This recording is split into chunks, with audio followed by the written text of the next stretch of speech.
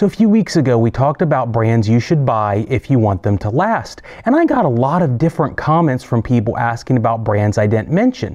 And the only reason I didn't mention those brands, for the most part, was the fact that, well, someone else makes them. And for some of those brands, they charge huge markups literally just for the badge, to where you are taking your money and you are taking a lighter and you are burning your money.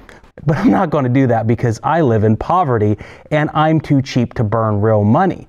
And besides, if I wanted something smoking hot on camera, I would just ask my wife to do this video. But she's not here right now, so you get ugly Ben. Now, let's talk about who really makes your appliances. And we're going to start with the biggest one, Maytag. You may not realize this, but Maytag is not a legitimate brand anymore. In fact, Maytag got bought out by Whirlpool in 2006 when they went bankrupt. And what that means is Maytags really aren't made by their own company anymore, they are made by Whirlpool. If you look at some of the designs, they're eerily similar which is because they are the exact same thing. The knobs are different, and usually you will pay another $100 for the same exact thing for a washer or dryer, except for the commercial units, but generally they are all the same except for the price tag. And this is why you want to really reconsider certain Maytags. Now, I like certain Maytags like the commercial laundry unit because they do have improved items, but generally they're coming out of the same factories that Whirlpool is. But Whirlpool owns a lot of other brands as well, not just Maytag. Whirlpool also owns Amana, which is a really funny story because Amana used to be owned by Maytag when it was its own company, but ended up becoming a Whirlpool product, which is now a budget brand item. But what's funny about that is not only did Maytag own Amana or Amana, it's really Amana. I know everybody keeps yelling at me about it. It's Amana. But Amana was owned by Alliance Systems, which makes Speed Queen. So if you go far back enough in the 1990s, your Amana unit is actually a Speed Queen, which lasts forever. So depending on the year of manufacture, your Amana could either be a Whirlpool, a Maytag, or a Speed Queen built unit. But those Amana units are really whirlpools underneath that have the same parts.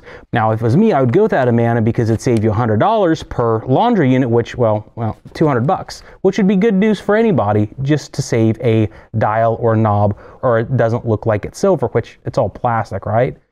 So Amana is one brand that's made by Whirlpool currently. Now another brand that is made by Whirlpool is Jenn-Air. Jenn-Air is a luxury brand which was also owned by Maytag that came a Whirlpool product. And Jenn-Air are extremely high-end units. And this is where the real scam starts is because a lot of those Jenn-Air units are thousands of dollars more than their Whirlpool counterpart despite them still being Whirlpool products on the inside.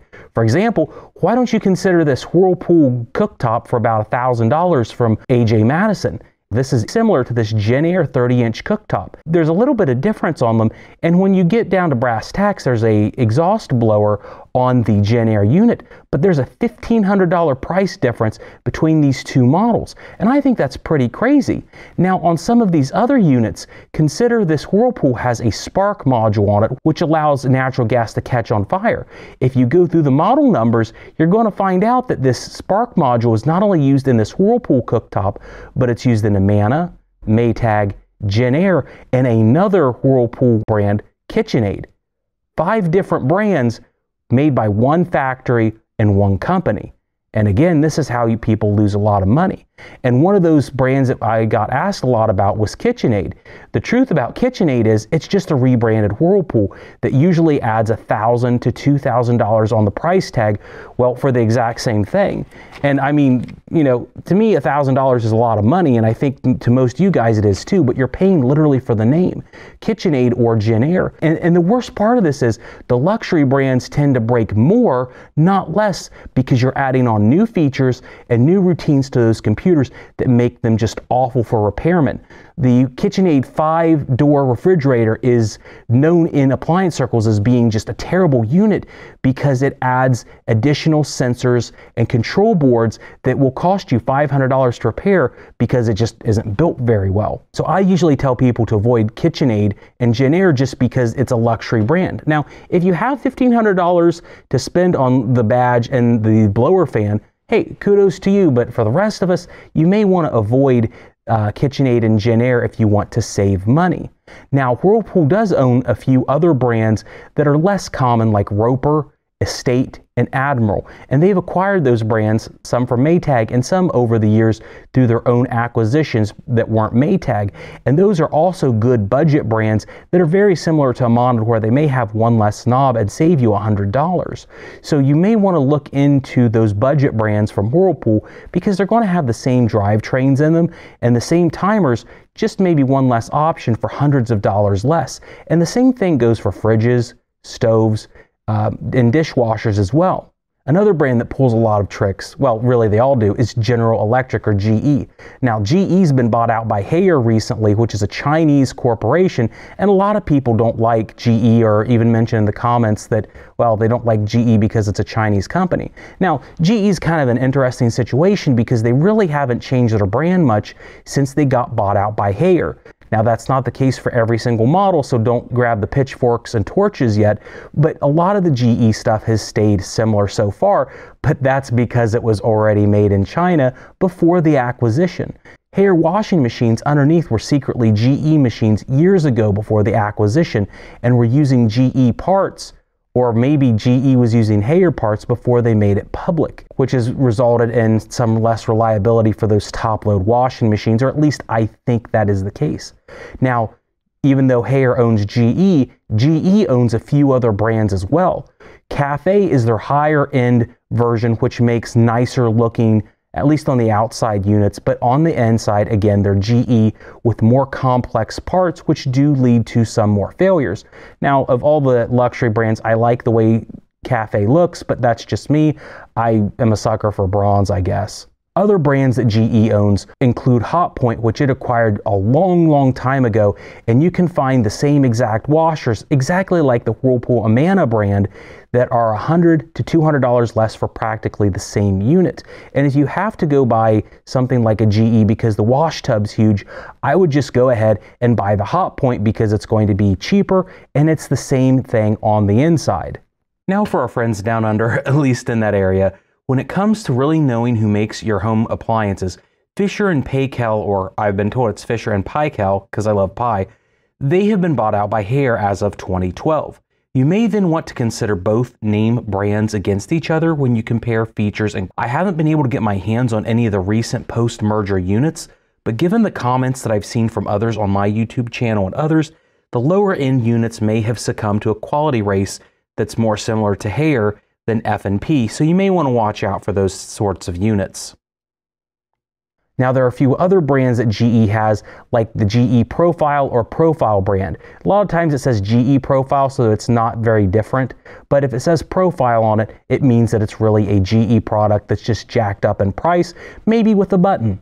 Now, for their extremely high end, for built in refrigerator models, they use Monogram, which ends up being their $6,000 plus brand, which I guess they're nice if you have that kind of money, but well, I don't, so I can't comment other than the fact that it's really just a GE product. So when it comes to GE, it's really owned by Haier, and that means they own the Cafe, Monogram, Profile, and Hotpoint brands as well. Now, Hotpoint is not made by GE in the United Kingdom, and in Europe, it's actually made by Indesit, which Indesit is then made by Whirlpool, so it's a huge stinking mess. So if you are buying a Hotpoint or Indesit, it's really made by Whirlpool Europe, which is a really weird situation. So be aware that it is their budget line, but it is a Whirlpool product over there. At least that's what I believe it is, according to Wikipedia. Another brand that's owned by another corporation is Frigidaire. Now, Frigidaire was the very first manufacturer of refrigerators in the United States, which is really, really neat. But they got bought out 35 years ago by Electrolux. And if you're in the United States, Electrolux is slowly making more and more products under their own name. But if you're in Europe, you know who they've been for a very, very long time. I got a lot of comments or questions about Electrolux washers and dryers, and they are decent units, especially over in the United Kingdom. But in the United States, they really didn't use that brand name very much. But Electrolux, and by extension Frigidaire in the United States, owns a ton of brands both in the United States and around the world. Now, for Frigidaire slash Electrolux brands, that includes Tappan, Kelvinator, Gibson, and Zanussi, or at least I think that's how you say that last one, in Europe and the United States. So if you like Electrolux products, you may want to consider some of those sub-brands because they are cheaper and will be the same product on the inside, whether it's uh, Frigidaire in the United States or an Electrolux in Europe. That's a great way to save money if you're across the pond. It may not be dollars, but you know, I guess euros probably aren't as inflated as US dollars are. Now in Europe, there are a lot of consolidations going on. If you like Beko units, they're actually owned by Arçelik SA, which is another appliance manufacturer based out of Turkey, and it's also a holding corporation from my understanding. They own a lot of other brands, including Blomberg, Grundig, Defy, Arctic, and Dawlance, among other brands. And those brands spanned throughout Europe and India. So those brands are all similarly related to one another and may have slight variations on the outside, but the inside are going to be generally the same manufacturers.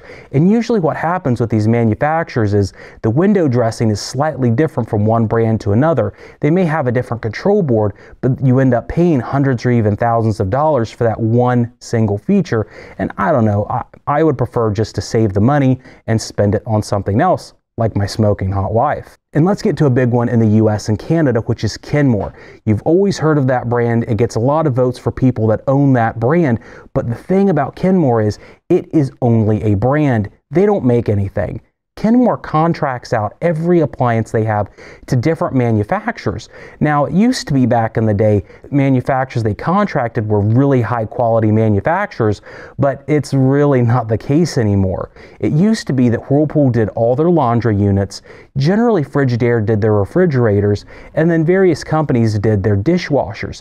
But that changes a lot lately to where instead they're LG, Samsung, or Daewoo brand appliances. And I don't know, Daewoo makes good guns, but they really don't make good refrigerators. In the US, if you have a Kenmore refrigerator with the starting numbers being 111, it's a Daewoo and you want to avoid it at all costs. They're very difficult to get parts for.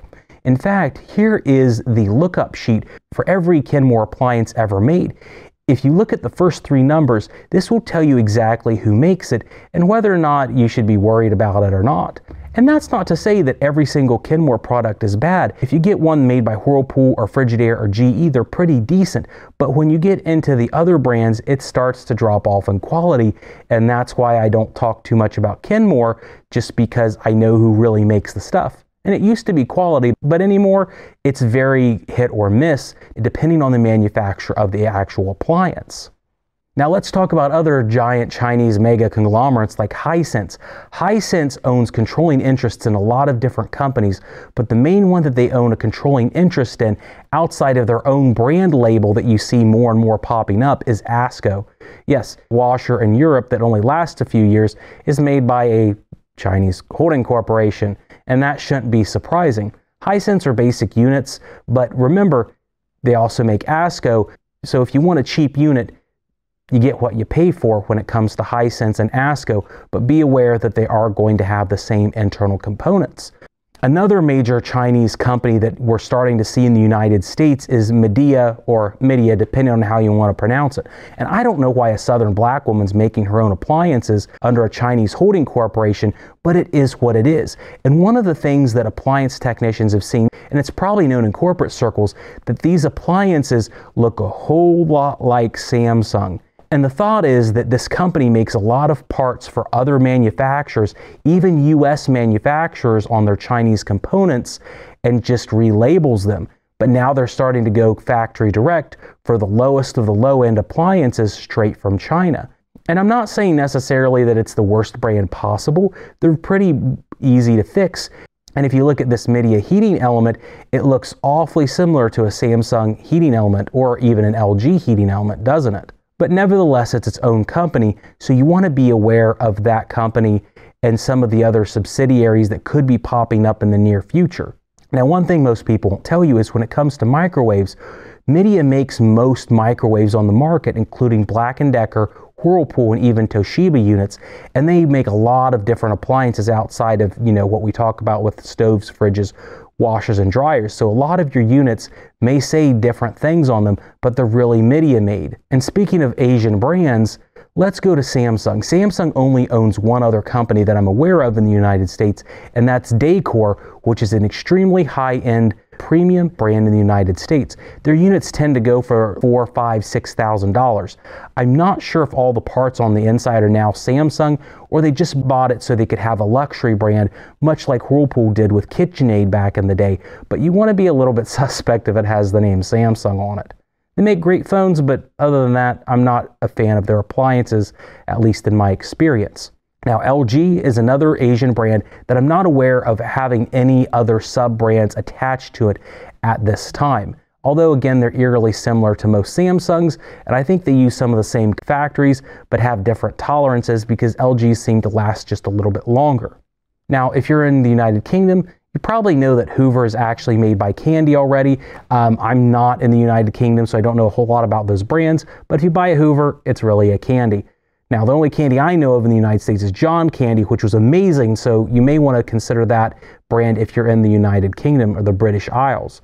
But, you know, it is what it is. And finally, one of the last ones we want to get to on the list is uh, Bosch or Bosch related products. Bosch owns Siemens, which is a generally high end brand in Europe, which they make pretty good units. But again, it's a different brand. You may pay more or less for that Siemens brand just for the name, but really on the inside it's a Bosch, so take it as you want it, but they tend to make pretty decent units in my opinion. Now, the Bosch Corporation also owns Guggenau, which is another German appliance company, and I probably butchered that name too.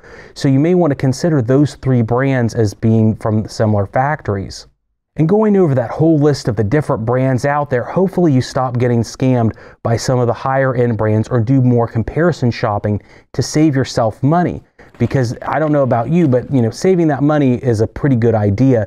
And hopefully, with this list of brands that you have under your belt, you can go to your appliance store knowing which brands are going to have the same internals for more or less money. And I hope you guys have a great day. If you like this video, make sure to subscribe. We'll be doing more content in this style in the future. And I hope you have a great day. Bye.